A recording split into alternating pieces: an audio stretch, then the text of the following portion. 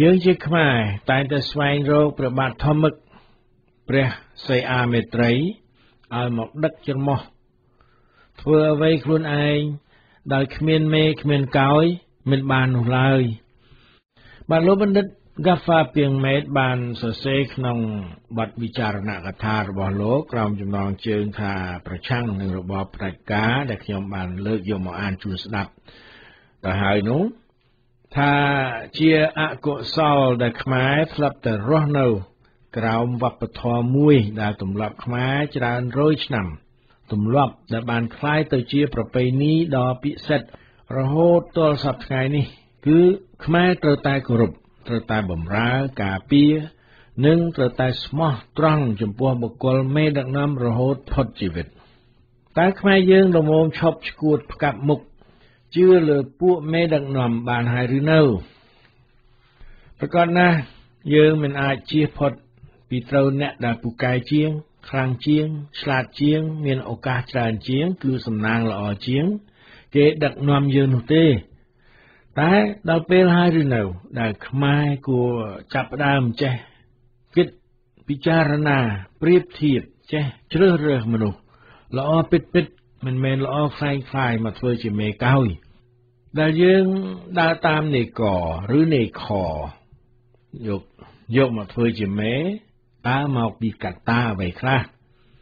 នេកមុខមាត់ល្អនេកស្លូតបូតនេកនិយាយពីរោះនិយាយពូកែនេខមានចំណេះខ្ពង់ខ្ពស់ឬនេខជាមនុស្សមកពីវណ្ណៈដឹកនាំ ឪវាជាអ្នកដឹកនាំកូនវាត្រូវតែពូកែជាអ្នកដឹកនាំដោយឪវាដែរយ៉ាងដូច្នោះឬវាមិនប្រកាសថាបែបនឹងរហូតនោះទេ បាទប្រពៃណីខ្មែររាប់រយឆ្នាំមកហើយបានបត់បែនខ្មែរឲ្យគោរពប្រតិបត្តិទំនៀមទម្លាប់យ៉ាងម៉ឺងម៉ាត់គឺទម្លាប់ស្វ័យប្រវត្តិទម្លាប់បន្តពូជទម្លាប់ធ្វើអ្វីនិងគិតអ្វីដោយដែលធ្លាប់បានធ្វើនិងគិត តាមវិធីអូតូម៉ាទិកមកហើយ ដោយមិនបាច់ប្រើបញ្ញាគ្រាន់តែចុចប៊ូតុងទៅបានហើយលោកបណ្ឌិត Gaffa ពីងមេតបានវិចារតទៅទៀតថាប្រពៃណីរយឆ្នាំបានដាក់ខ្មែរក្នុងទ្រង់សេវភាពលោកហៅថាសេវភាពខ្ញុំថាទេសភាព ទាំងខ្លួនទាំងផ្នត់គំនិតគួរក្បាល គឺមិនឲ្យរង្គើឃ្លាតចេញពីខ្សែបន្ទាត់ទំនៀមទម្លាប់នោះទេ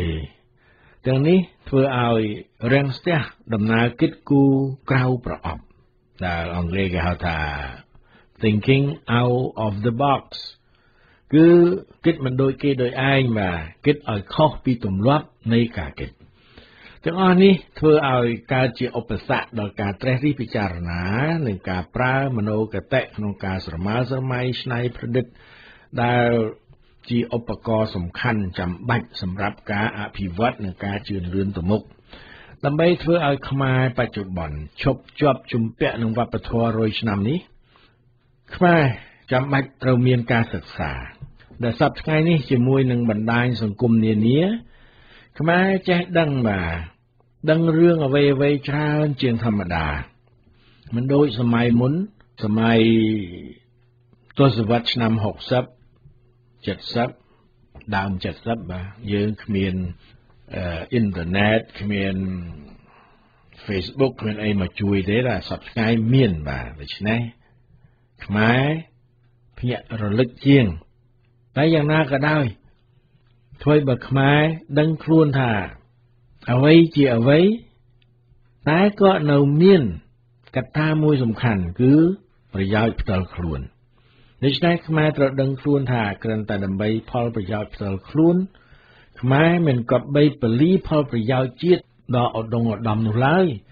បញ្ហាវានៅត្រង់មនុស្សមិនថាចំណិនណាទេ គេមិនសូវគិតពីផលវិបាកនៃអំពើរបស់គេឡើយបើផលវិបាកនោះមិនធ្លាក់មកលើខ្លួនគេឬក្រុមគ្រួសាររបស់គេយ៉ាងទន់ហន់ទេនោះឧទាហរណ៍ជិះម៉ូតូ ត្រូវពាក់មួកសុវត្ថិភាពបើអ្នកឯងមិនពាក់អ្នកឯងនឹងប្រឈមផលវិបាកពីរប្រការ ទី1គឺភ្លាមភ្លាមយ៉ាងទន់ហន់គឺនឹងត្រូវប៉ូលីសចរាចរណ៍ចាប់ផាកពិន័យនិងទី2ពេលមានឧបទ្ទវហេតុបរទៅបុកឬជល់នឹងយានយន្តដទៃទៀតអ្នកមិនពាក់មួកសុវត្ថិភាព ក៏នឹងមានរបួសធ្ងន់ធ្ងរអាចដល់ស្លាប់ទៅទៀតតែបើមានមួកការពារក្បាលអ្នកអាចនឹងទទួលរងរបួសត្រឹមបាក់ដៃបាក់ជើងរលិតក្បាលជង្គង់ឬស្អីតែប៉ុណ្ណោះការពិតទាំងនេះបានធ្វើឲ្យមនុស្សពាក់មួកបាទពាក់មួកបើមិនពាក់ទេត្រូវផាកលើកលែងតែនៅក្នុងសង្គមដែលគេមិនអើពើដោយសង្គមស្រុកខ្មែរផាកផងមិនផាកផងច្បាប់មិនមែនជាច្បាប់ ស្អីបែបហ្នឹងធ្វើឲ្យមនុស្ស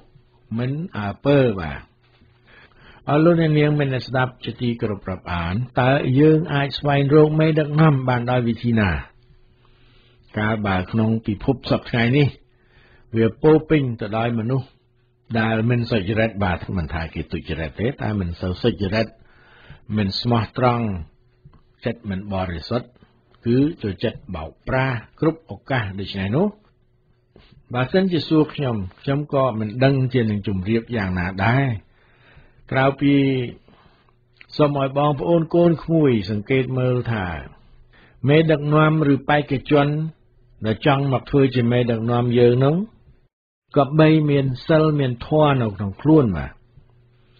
យកងាយងាយយើងត្រូវសួរថាតើមេដឹកនាំកាន់សិល5ដែរឬទេ បើពូកែខាងបៀតបៀនយាយីជីវិតគេ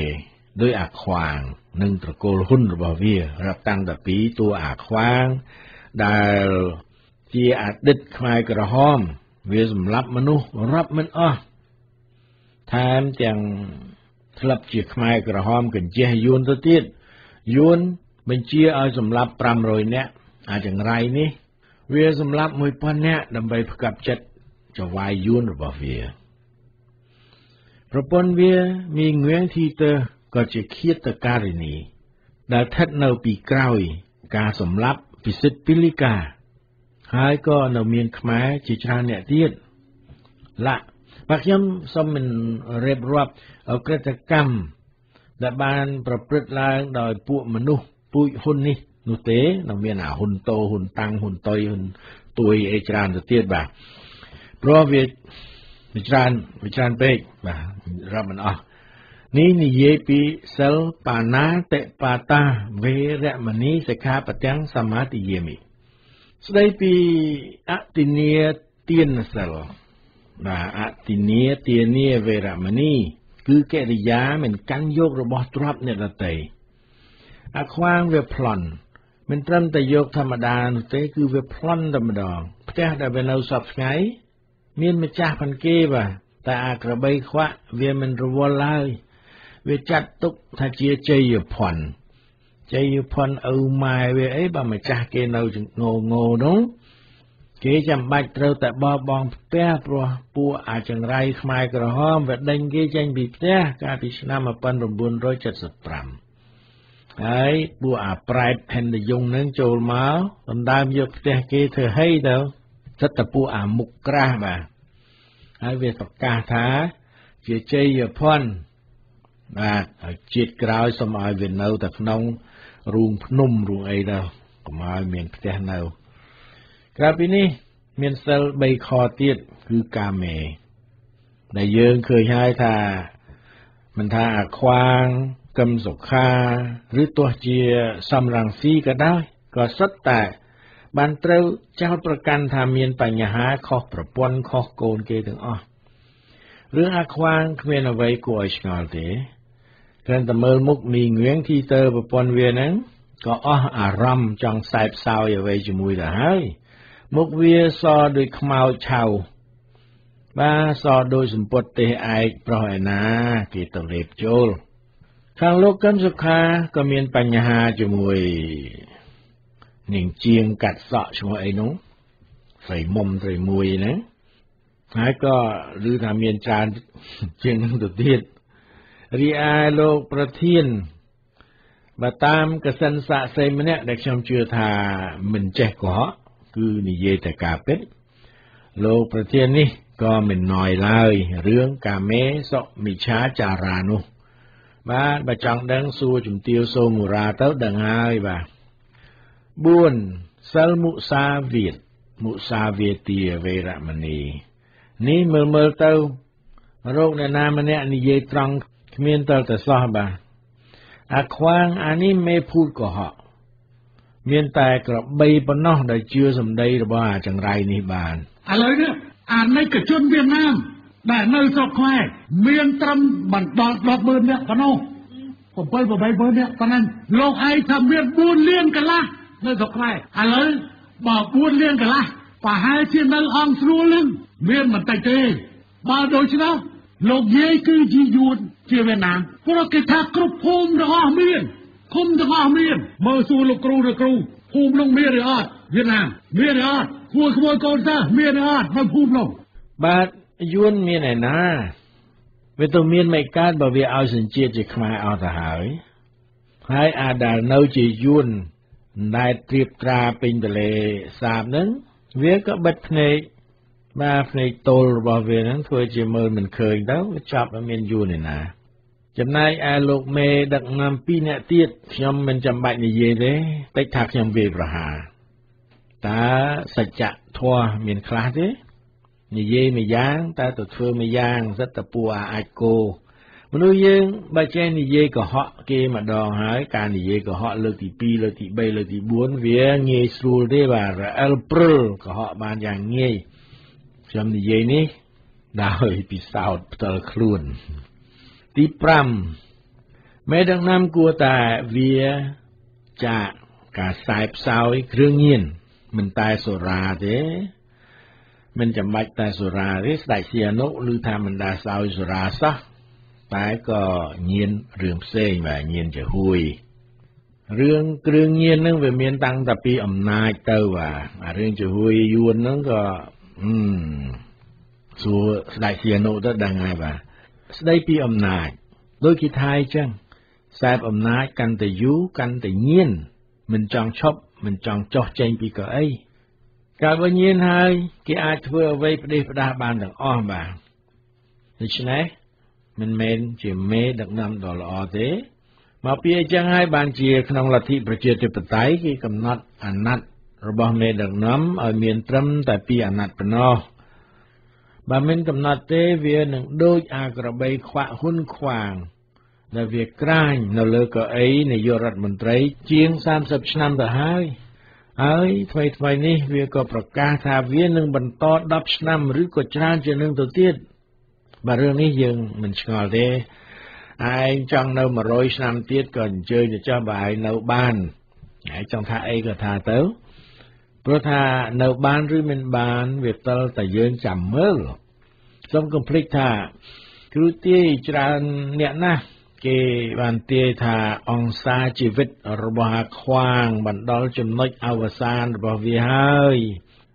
យ៉ាងណាក៏ដោយថ្ងៃនេះខ្ញុំបានតាក់ទងជាមួយនឹងលោកក្របខ្សាច់បាទលោកនាងច្បាស់ជាចាំបានលោកក្របខ្សាច់នៃមូលនិធិគោសមុទ្រទឹកដោះនោះ លោកបានបញ្ជាក់ប្រាប់ខ្ញុំថា វិធីកម្ចាត់អាខ្វាងនិងពួកអាយួនចិនឈ្លានពាននោះលោកមាន តែខ្មែរមិនព្រមស្ដាប់លោកសោះងាយទេលោកថា ចាំឲ្យអស់ផ្លូវមែនទែនសិនសំលោកប្រាប់ វិធីរំដោះមេដាកម្ពុជា និងវិធីកម្ចាត់អាខ្វាងតាមវិធីណាលោកថា វិធីនោះវាងាយសោះ បាទសួរថាដល់ថាងាយនេះងាយយ៉ាងណា លោកក៏មិនប្រាប់ប្រាប់ទៅថាចាំដល់ពេលលោកក៏នឹងប្រាប់ថាឲ្យធ្វើយ៉ាងណា បាទបួងសួងយើងក៏បានបួងសួងហើយឥឡូវដុតទីមងអាគម្រក់ខ្វាង ខ្មែរមួយជំហៀងផែនដីក៏កំពុងតែរៀបចំធ្វើហើយជាពិសេសនៅថ្ងៃ17 18មីនាខាងមុខនេះ គេនឹងដុតទីងមងអាខ្វាងច្រើនកន្លែងច្រើនចំណុចនាទីក្រុងស៊ីដនីប្រទេសអូស្ត្រាលីដើម្បីធ្វើឲ្យคล้ายទៅជារឿងដែលពិភពលោកនឹងចាប់អារម្មណ៍យើងកុំដុតតែមួយពីរបាទដុតណៃឲ្យច្រើនហ្មងវាមិនជាថ្លៃប្រហែលទេគេណាធ្វើរូទីម៉ងពីសម្បកបាវឬក៏ពីស្អីហ្នឹងបាទធ្វើឲ្យវាដូចត្មងទៅមិនពិបាកទេកុំធ្វើថោកថោកយើងធ្វើឲ្យណានៃមកអស់មែនទេ ហើយដុតឬក៏ចងកវាឬក៏ស្អីហ្នឹងចង្រៃមនុស្សចង្រៃហ្នឹងវាទៅតែបង្ហាញឲ្យពិភពលោកគេឃើញថាខ្មែរมันអាចទទួលយកមនុស្សបែបនេះមកធ្វើជាមេដឹកនាំរបស់យើងបានឡើយអរលោកអ្នកនាងមានស្ដាប់ជាទីគោរពរាប់អានមេដឹកនាំត្រូវតែកាន់សិលយ៉ាងហោចណាស់ក៏សិល5នេះដែរស្ដេចសៀនុដាច់សិលរឿងកាមេព្រោះឈួតនឹងចហួយយួន ព្រះអង្គដាច់សិលបាណាព្រោះសម្លាប់មនុស្សតែណាព្រៀបអ៊ិនចៅបុរីសៅងយលាក់មកពី3 10នាក់ត្រូវយកទៅចងនៅមង្គលហើយក៏បាញ់ប្រហារដោយកងយោធាវាហើយនៅមានថតគុណយកទៅបញ្ចាំងនៅតាមរោងកុននៅស្រុកគេខ្លាចថែមទៀត នេះបានចំជាស្ដេចកំណាចអមនុស្សធម៌ជាទីបំផុតថោកទៀតទៅតែមែនទេណាស្ដេចចំគួតនេះបាទស្ដេចបាននឹងយើងហៅថាសម្ដេចឪខូចឈ្មោះពាក្យថាឪអស់រលីងបាទឃើញមុខមាត់ស្អាតនិយាយនឹងគួរឲ្យស្រឡាញ់អូយកូនចៅកូនចៅកូនចៅចុះក្អួតអីស្លាប់អស់ប្រមាណលានអ្នកបាទមេដឹកនាំខ្មែរមុននេះហើយនឹងបច្ចុប្បន្នកុំថាឡើយ ដល់ទៅមានទស្សបារមីដោយដែលលោកសោមសេកកុមារលោកសង្កត់ថាមេដឹកនាំចាំបាច់ត្រូវតែមានទស្សបារមីនោះគ្រាន់តែសិល5មានមិនទាំងគ្រប់ផងបាទមិនបានជាអីចឹងតើមនុស្សខ្មែរអស់គុណធម៌ហើយឬអ្វីយ៉ាងណាក៏ដោយ យើងត្រូវបន្តស្វែងរកមនុស្សដែលមានទស្សបារមីនេះឲ្យបានបើយើងចង់ជួយស្រោចស្រង់មេដាកម្ពុជាពីក្តីវិនាស អរលោកនាងជាទីមេត្រីរឿងនេះមិនងាយទេវាពិបាកនឹងរកបាទមកទល់នឹងពេលនេះយើងនៅមិនទាន់ឃើញមានមេដឹកនាំណាដែលយើងលមមផ្ញើជោគវាសនារបស់ប្រទេសជាតិនិងរបស់យើងនឹងទៅលើគេនឹងនៅឡើយតែខ្ញុំជឿថាមាន មិត្តយើងនាំគ្នាស្រែកថាកុំទៅពឹងពាក់លើអ្នកដទៃពឹងពាក់លើខ្លួនយើងប្រកាសហើយយើងត្រូវពឹងពាក់លើខ្លួនយើងតែបើសិនជាយើងគ្មានមេដឹកនាំវាក៏ដូចជាពស់កំបុតក្បាលអញ្ចឹងបាទឬក៏ដូចវងសัตว์ដែលគ្មានមេដឹកនាំទោះជាសัตว์វានៅមានមេនាំពីមុខហើយយើងយើងគ្មានទៅទៅណារួចខំគ្នាចិនគ្នាស្លាប់អរលោកនាងជាទីមេត្រីកាលពីម្សិលមិញខ្ញុំបានលើកយកសិភៅ សមថកម្មដ្ឋាន ដែលរៀបរៀងដោយលោកសោមសេកកុមារមកអាន កាលនោះខ្ញុំអានរឿងបារមីទាំង10បាន5ទៅហើយ នៅសល់5ទៀតតែខ្ញុំជម្រាបថានៅសល់4សំទោសព្រោះមានរឿងច្រើនរឿងពេកធ្វើឲ្យលប់ស្មារតីបាទផិនភាំងនិយាយខុសបាទខុសខ្លះត្រូវខ្លះសូមអភ័យទោសអធិស្ឋានផងចុះ បាទចាប់ពី6គឺបារមីទី6ហៅថាខន្តីបារមីទៅនោះនៅសល់ទាំងអស់5ទៀតមិនមែន4ទេបាទតែទៅធ្វើលេខងាយងាយប៉ុណ្ណឹងខ្ញុំធ្វើខុសទៅហើយនៅមានមុខមកអានសុភៅធរសុភៅអាអីនោះទៀតអូទៅរួចអានេះយ៉ាងណាក៏ដោយលោកសំសេកកុមារបានប្រាប់ខ្ញុំថា ខ្ញុំអានធ្វើមើលតែខ្ញុំនឹងយល់ធ្វើមើលតែខ្ញុំនឹងយល់រឿងនឹងខ្លាំងណាស់គឺសង់តង់គ្នានឹងលោកមិនទេបាទជំរាបត្រង់ត្រង់អឺដែលលោកនិយាយមកនឹងខ្ញុំអត់មានអីឆ្ងល់ទេពីព្រោះគ្រាន់តែជាការថ្លែងបាទកាលណាគេប្រាប់មកថាអឺព្រះអាទិត្យក្តៅណាទឹកកកវាត្រជាក់ ខ្យល់បក់មកលហើយអានេះយើងដឹងបាទគឺតែចាំបានឬមិនបានអានេះរឿងមួយផ្សេងទៀតហើយដែលខ្ញុំអានមកទាំងអស់នោះខ្ញុំចាំអត់បានអីទេបាទភ្លេចអស់ទៅហើយដើម្បីកុំឲ្យខាតពេលខ្ញុំសូមបន្តអាន បារមីទី6ឬខន្តីបារមីមានសេចក្តីដូចតទៅនេះបាទប្រភពខន្តីកើតមកពីអំណត់អត់ធន់ពីការស៊ូទ្រាំលក្ខណៈ ខន្តីមានប្រភេទជាគុណជាតិដ៏ឧត្តមឧត្តមដែលជាសញ្ញានៃលទ្ធផលកើតអំពីការអប់រំការបន្ទន់ការបំពុតចិត្តដ៏ម៉ត់ម៉ងដែលបុគ្គលធ្វើបានដោយកម្រនៅចំពោះមុខរូបធម៌ទាំង6បែបចូលតាមវិថីចិត្តកិច្ចខន្តីមានភារកិច្ចខាងសម្រាលសម្រន់ចិត្តចំពោះកំហឹងនិងចំពោះទុក្ខ កង្វល់ឧបសគ្គព្រមទាំងក្តីអន្តរាយគ្រប់ប្រការ ដើម្បីរាំងទប់នៅអកុសលកម្មកុំឲ្យកើតមាន ឬកុំឲ្យជួយបន្ថែមទម្ងន់ទៅលើសត្វកាន់តែខ្លាំងផលក្នុងជាតិជាព្រះច័ន្ទកុមារព្រះពោធិសត្វទ្រង់បានអំណត់ដល់ការយកទៅបូជាក្នុងព្រះអគ្គី ដែលព្រះបិតាយល់ឃើញថាយញ្ញពិធីនេះ នឹងនាំទៅកាន់សុគតិភពប៉ុន្តែត្រឡប់ជាព្រះអង្គទទួលបាននៅខន្តីបារមីដោយមានការសង្គ្រោះពីព្រះឥន្ទ្រាធិរាជហើយដោយបន្ថែមមកពីវិរិយបារមីឬការប្រឹងប្រែងជំនះលើទុក្ខវេទនានិងពីអធិដ្ឋានបារមីឬការតាំងចិត្តជាហេតុដំបូងចំពោះបំណងណាមួយពិតប្រាកដព្រះពោធិបក្ខយធម៌ ឈ្មោះអធិបាទក៏កើតមាននៅក្នុងសន្តាននៃព្រះអង្គដើម្បីត្រៀមខ្លួនជាសាច់ចាំជ្រោមជ្រែងចិត្តឲ្យមានជាគ្រឹះដ៏រឹងមាំសម្រាប់យកជ័យជំនះក្នុងភារកិច្ចគ្រប់ចម្ពោះមានន័យថាអិទ្ធិបាទអាចកើតមាន ពីព្រោះព្រះអង្គបានប្រុងប្រៀបទុកជាមុនដោយការបំពេញព្រះបារមី7សច្ចៈបារមី ប្រភព សច្ចៈកើតមកពីណា កើតមកពីចេតនាចង់ដឹងសេចក្តីពិត ចង់រក្សាសេចក្តីពិត និងចង់ដើរតាមសេចក្តីពិតនោះលក្ខណៈសច្ចៈមានគ្រឿងសម្គាល់ជាសេចក្តីពិតជាដំណើរទៀងទាត់និងជាភាពស្មោះត្រង់សុចរិតកិច្ចសច្ចៈមានមុខងារខាងអូសទាញសន្តាននៃសត្វឲ្យដើរតាមសេចក្តីពិត តាមដំណើរទៀងត្រង់និងតាមភាពសុចរិតដើម្បីអាចបន្ថយនៅការយាយីពីអំណាចនៃពួកសង្ខារធម៌ដែលតែងតែលបួងលួងលោមសត្វឲ្យធ្លាក់ក្នុងរណ្ដៅនៃទុក្ខសោកព្រះបរមគ្រូជាម្ចាស់ទ្រង់បានត្រាស់ដឹងរហូតដល់ព្រះអរិយសច្ចធម៌ទាំង4ដែលបញ្ជាក់ប្រាប់សត្វលោកឲ្យដឹងច្បាស់ថាទុក្ខទាំង12កងពិតជាមាន ប្រភពដែលនាំឲ្យសត្វកើតទុក្ខ គឺកាមតណ្ហាភវៈតណ្ហានិងវិភវៈតណ្ហាពិតជាមាន ការរលត់ទៅនៃទុក្ខដោយសារមគ្គញ្ញាណពិតជាមាន និងផ្លូវនាំឆ្ពោះទៅរកទីរលត់ផុតនៅទុក្ខគឺព្រះអរិយមគ្គអង្គ8ពិតជាមាន ផលក្នុងជាតិជាព្រះវិធុរបណ្ឌិតវរៈពោធិសត្វ ទ្រង់ប្រកាន់យកសច្ចធម៌ដោយមិនព្រមពោលពាក្យកុហកពីព្រោះតែហេតុនៃជីវិតក៏ដោយដូច្នេះព្រះអង្គក៏សម្រេចបាននៅសច្ចបារមីហើយដោយរួមគ្នានឹងបញ្ញាបារមីឬការយល់ច្បាស់ថា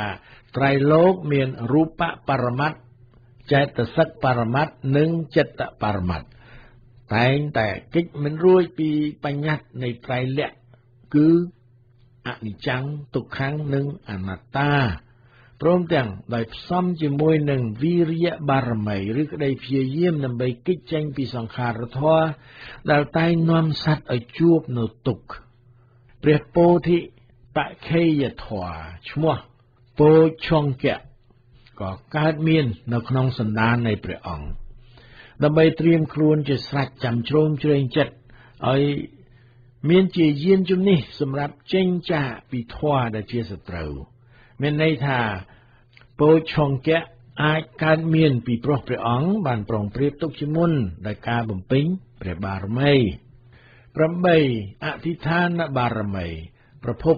អធិដ្ឋានកើតមកពីចេតនាចង់ចេញបំពេញនៅគោលបំណងណាមួយពិតប្រាកដលក្ខណៈ អធិដ្ឋានមានប្រភេទជាការតាំងបដិញ្ញាចិត្តដ៏ជាហេតុខាងដើម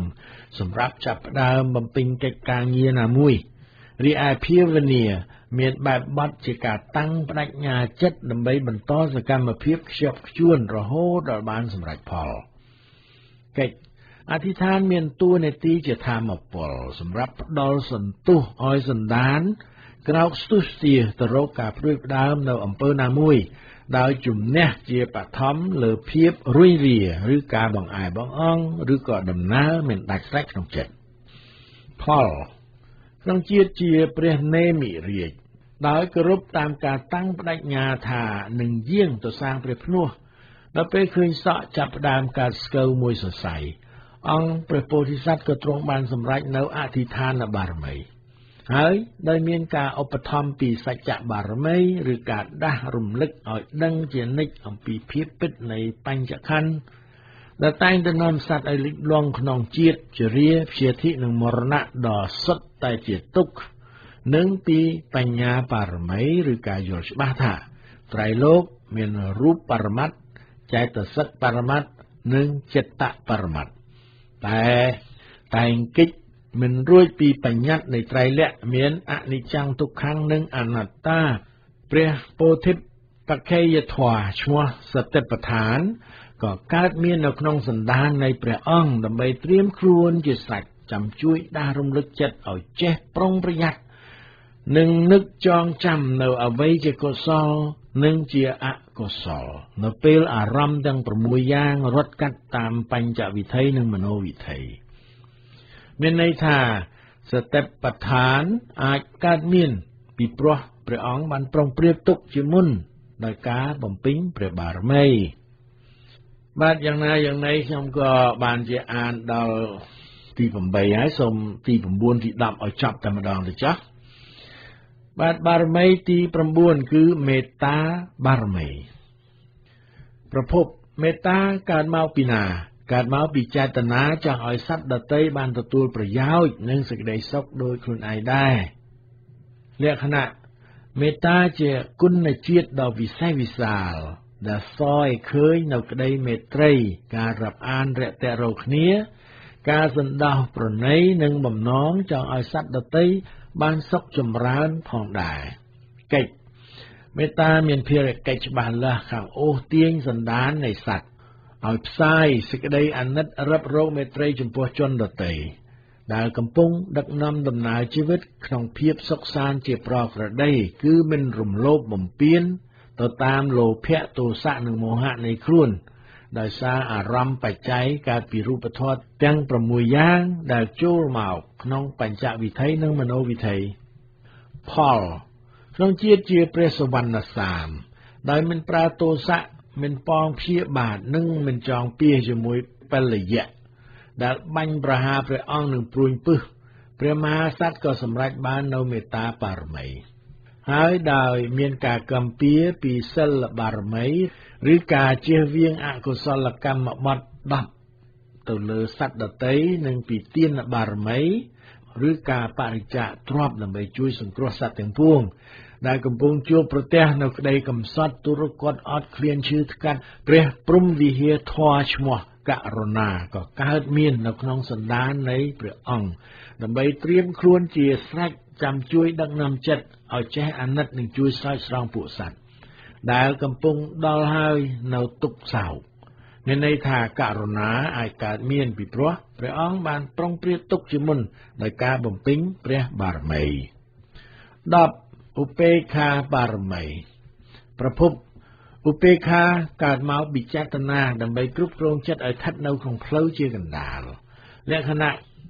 ឧបេក្ខា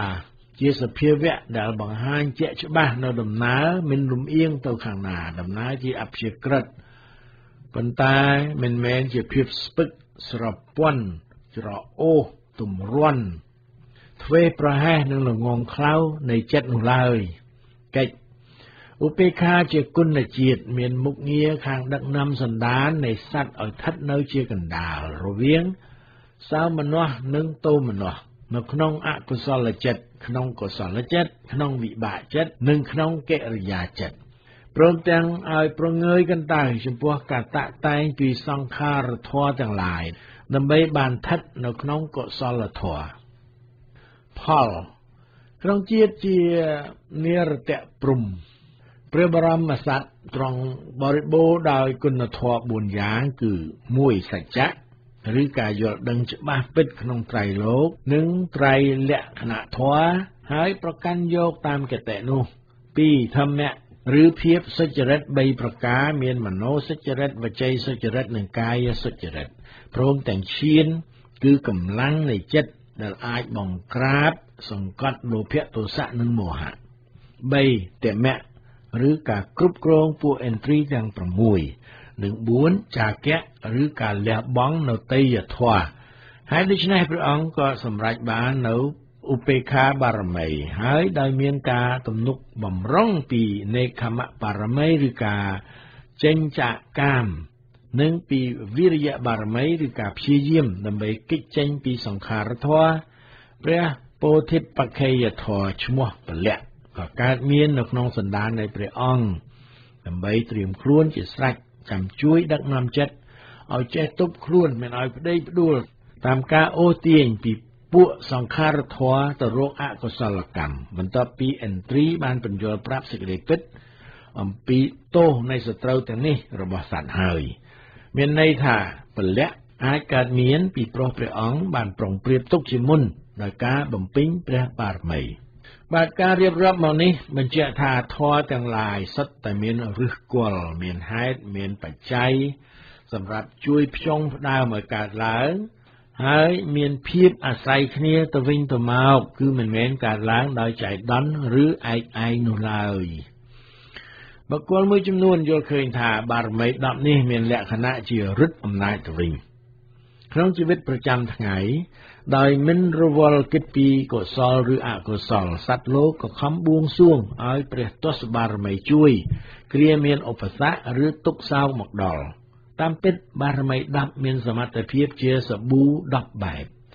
ដែលព្រះបរមគ្រូទ្រង់ប្រោសប្រទានទុកឲ្យសត្វសម្រាប់យកទៅប្រើប្រាស់ដើម្បីដោះសម្អាតក្អែលនៃចិត្ត10យ៉ាង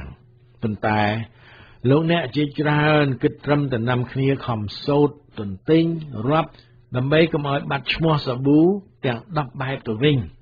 ការចងចាំមិនភ្លេចការយល់ច្បាស់និងការបដិបត្តិតាមព្រះទស្សបារមីពិតជាផ្ដល់ជូនសាធុជន នៅអានិសង្សដ៏ឧត្តមឧត្តមនោះហើយ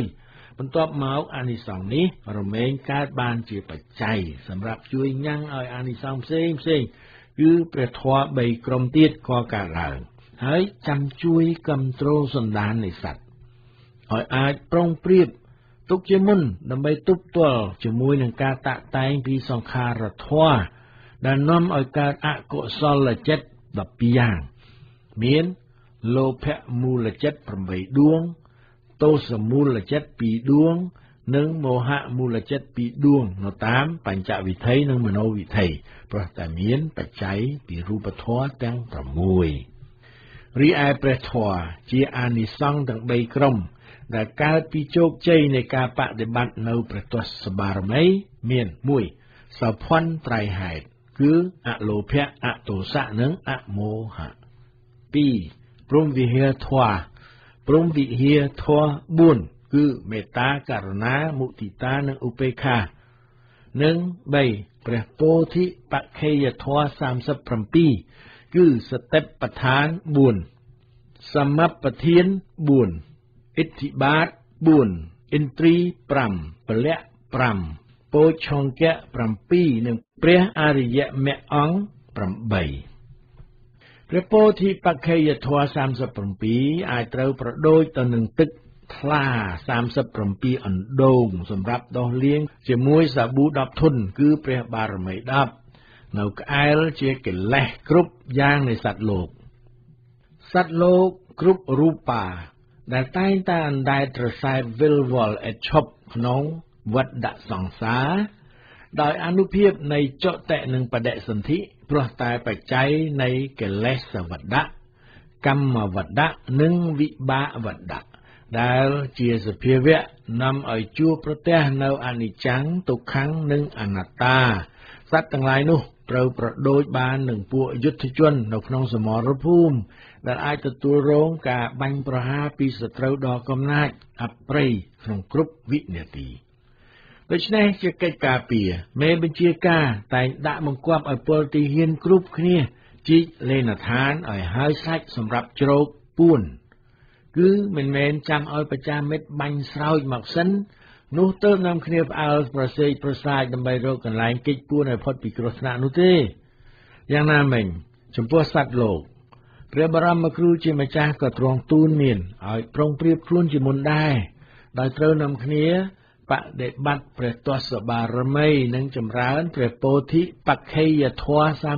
37ដើម្បីចាំស្ទាក់ផ្លូវកុំឲ្យមេខ្មាំងធំទាំង3មានលោភៈទោសៈនិងមោហៈអាចនាំសន្តានឲ្យធ្លាក់ទៅក្នុងអកុសលចិត្តបានមកពីការពិតថាអកុសលកម្មទាំងឡាយដែលសត្វបានសាង តែងคล้ายទៅជាអកុសលកម្មបច្ច័យសម្រាប់ឲ្យកើតជាអកុសលកម្មវិបាកដែលនឹងត្រូវប្រមូលទុកនៅក្នុងបញ្ចខណ្ឌហើយបង្កឲ្យមានអកុសលបញ្ចខណ្ឌវិបាកដែលទីបំផុតមុខជានឹងជំរុញសត្វឲ្យទៅធ្វើបដិសន្ធិក្នុងទុក្ខតេភពជះមិនរួចឡើយការសាងកុដិវិហារសាលាចេតិយ ជាការបូជាដ៏ប្រសើរមែនហើយប៉ុន្តែការសាងព្រះទស្សបារមី ដើម្បីឲ្យសត្វបានសុខស្ងប់ក្នុងអាត្មា ជាការបូជាដ៏ឧត្តមឧត្តមបំផុតឥតអ្វីផ្ទឹមឡើយចំពោះព្រះបរមគ្រូជាម្ចាស់យើងតទៅមុខជាការអធិប្បាយជូនសាធុជនអំពីព្រះពោធិបក្ខីយធម៌តើអ្វីទៅគឺព្រះពោធិបក្ខីយធម៌ទាំង37បាទ ដោយវែងទៅហើយហើយក៏មិនដឹងជានិយាយស្អីខ្លះទេខ្ញុំសូមបញ្ចប់ពីនេះពីនោះថ្ងៃនេះតែប៉ុណ្ណេះចុះមិនដឹងជាទៅដណ្ដើមរឿងធម៌អាហាររបស់ព្រះសង្ឃអង្គចៅចៅគូទាំងឡាយនឹងធ្វើអីទេប៉ុន្តែខ្ញុំត្រូវលោកសោមសេកកូម៉ាបញ្ឆោតឲ្យអានហើយឥឡូវចាប់អានដែរហើយបាទកាត់បញ្ចូលបន្តិចទៅស៊ីចូលអាន លោកអ្នកនាងអាចនឹងមិនយល់តែយើងមករៀនបាទម្នាក់បន្តិចម្នាក់បន្តិចក្នុងការអាននេះទៅទោះជាចាំមិនបានក៏ហីទៅចាស់យ៉ាងហើយឲ្យយើងយល់បន្តិចបន្តិចបន្តិចបន្តិចគង់តែមានអឺសេះសល់ខ្លះនៅក្នុងក្បាលបាទតែពេលចោះហើយចាំថ្ងៃក្រោយយើងជួបគ្នាទៀតជម្រាបលាបាទ